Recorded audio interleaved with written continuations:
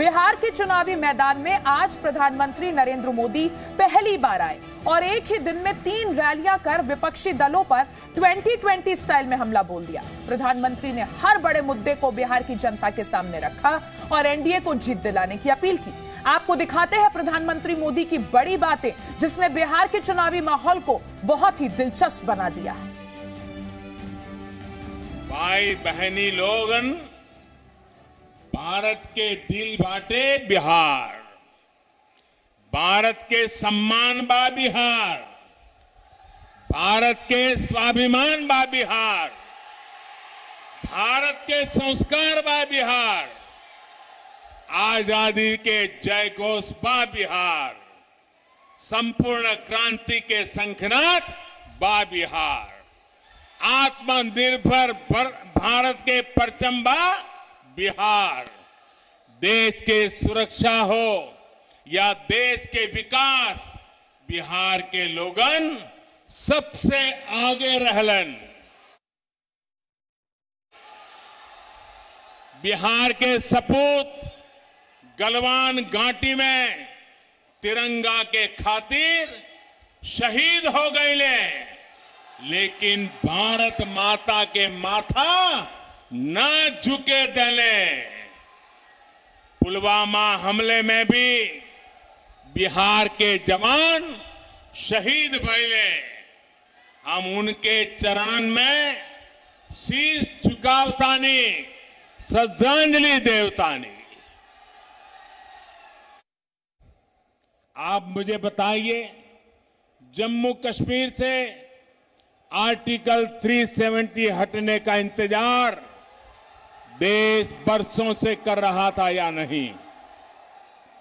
ये फैसला हमने लिया, एनडीए की सरकार ने लिया, लेकिन आज ये लोग इस फैसले को पलटने की बात कर रहे हैं।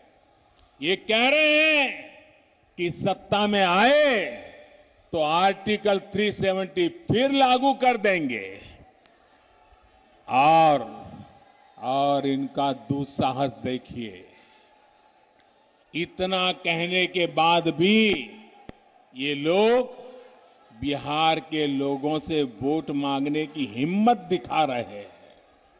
जो बिहार अपने बेटे बेटियों को सीमा पर देश की रखवाली के लिए भेजता है, क्या ये उसकी भावना का अपमान नहीं है? मैं जवानों और किसानों की भूमि बिहार से इन लोगों को एक बात एकदम स्पष्ट कहना चाहता हूँ। ये लोग जिसकी चाहे मदद ले लें, देश अपने फैसलों से पीछे नहीं हटेगा। भारत माता की बिहार के स्वाभिमानी और मेहनती भाई बहन आप सभी के प्रणाम।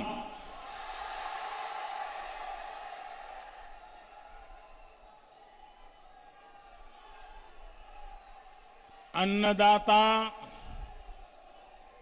मेहनत कश किसान भाई लोग के ई धान के कटोरा कहल जाए। गौरवशाली धरती के हम नमन करतानी माँ मुंडेश्वरी ताराचंडी माता के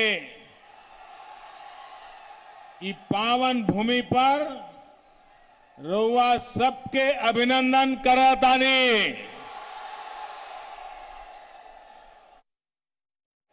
सबसे पहले तो मैं बिहार के लोगों को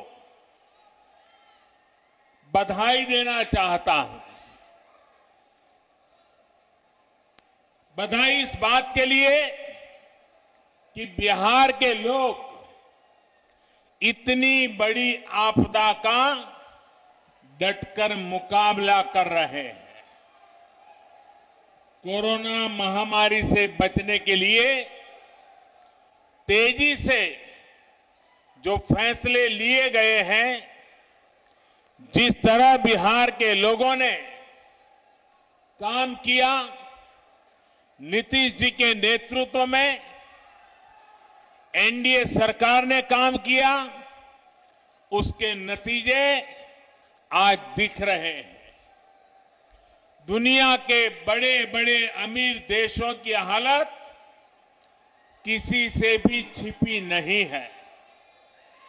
अगर बिहार में तेज़ी से काम न हुआ होता तो ये महामारी न जाने कितने साथियों की हमारे परिवारजनों की जान ले लेती।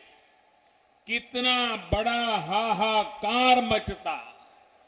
इसकी कोई कल्पना भी नहीं कर सकता। लेकिन आज बिहार कोरोना का मुकाबला करते हुए सारी सावधानियों के साथ लोकतंत्र का पर्व मना रहा है।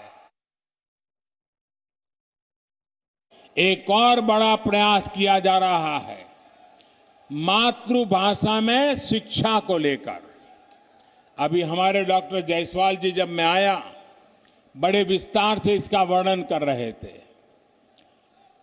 और ये काम जब मैं कह रहा हूँ, मैं कहता हूँ, मन बुद्धि कर्म से मैं